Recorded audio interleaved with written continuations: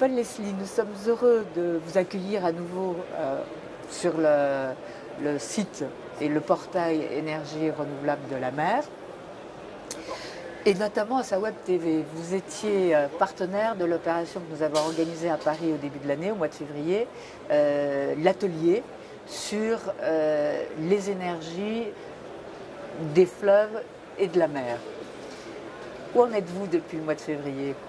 Alors, les choses ont beaucoup évolué depuis le mois de février. déjà au Royaume-Uni, euh, on est dans les dernières phases, euh, je dirais, de l'obtention des autorisations environnementales locales pour euh, notre premier projet à Swansea.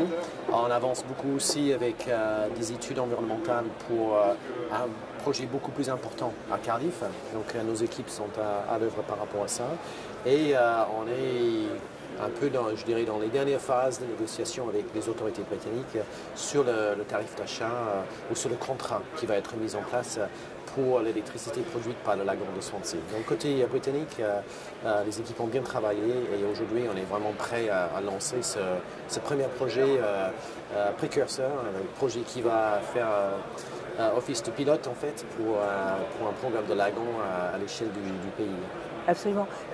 Tidal Lagoon Power a commencé quand ces démarches en Grande-Bretagne? En 2011, hein, on a commencé. Donc ça peut sembler assez rapide vu de la France. C'est assez rapide. Cela dit, les autorisations environnementales ont été obtenues en 2015 hein, pour le lagon de Swansea. depuis, c'est vraiment les, les dernières phases de, de, levée des risques par rapport à ces études, les, conditions qui ont été posées par les autorités qui doivent être remplies. Donc ça a été notre travail depuis, euh, depuis 2015. Mais bon, la procédure euh, en Grande-Bretagne euh, permet d'aller relativement vite. C'est un permis unique, donc avec des délais d'instruction qui sont réglementés. Donc à partir du moment où on fait tout le travail nécessaire et puis la barre est très haute, la procédure est vraiment propice quand même à l'engagement assez rapide du projet. Vous avez identifié en France des façades maritimes? Tout à fait. Il y a, pour nous, il y a deux façades finalement où le marimoteur sera possible en France. Les possibilités sont plus limitées qu'en Grande-Bretagne, mais là où les ressources existent, elle est conséquente. Donc il y a, deux zones qui nous intéressent. C'est la Normandie et je dirais les côtes du Cotentin en face des îles anglo-normandes. Là, le gisement est, bien connu et est aussi important que, qu'au Pays de Galles. Et la deuxième façade, c'est plutôt euh, les côtes picardes. Donc euh, autour de la baie de la Somme, au nord et, au sud de la baie de la Somme. Ce sont les deux endroits où le marnage est assez important et la bathymétrie aussi est adaptée parce qu'on est dans des eaux peu profondes. Donc là, le marémoteur est tout à fait réalisable avec des puissances assez importantes. Il faut bien rappeler que le marémoteur, ce ne sont pas des barrages. Hein. Non, non, non, c'est pas du tout ça. Donc euh, c'est pour ça qu'on parle du nouveau marémoteur. L'ancien marémoteur, c'est le marémoteur qui a été fait dans l'estuaire de la Rance. Mais notre projet consiste à, justement, on n'a pas barré à l'estuaire, donc d'utiliser des lignes de côte en dehors des estuaires.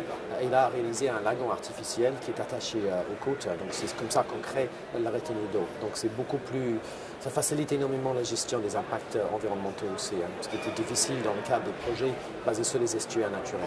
Quelles sont les démarches que vous entamez ou que vous avez entamé Oui, c'est beaucoup, euh, beaucoup finalement de, un travail de sensibilisation au niveau local. Hein. Donc on est en contact avec, euh, avec les acteurs euh, politiques et économiques à tous les échelons, donc au niveau de la commune, au niveau des départements, des régions. Un grand travail est mené aussi au niveau de l'État français, donc surtout après les élections en France. Donc on estime qu'il y a une véritable opportunité avec les annonces au niveau de la politique environnementale de la France d'avancer assez rapidement avec le moteur. Donc on a mis beaucoup d'efforts justement sur la sensibilisation des, acteurs à, ce niveau-là aussi. Et nos équipes travaillent aussi sur la dimension, euh, bon, on, rassemble quand même toutes les connaissances euh, euh, qui sont dans le domaine public sur les caractéristiques de l'environnement naturel de ces deux façades dont j'ai parlé.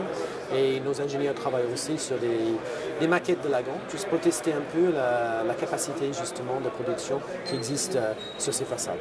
Merci. À bientôt. Bien, merci.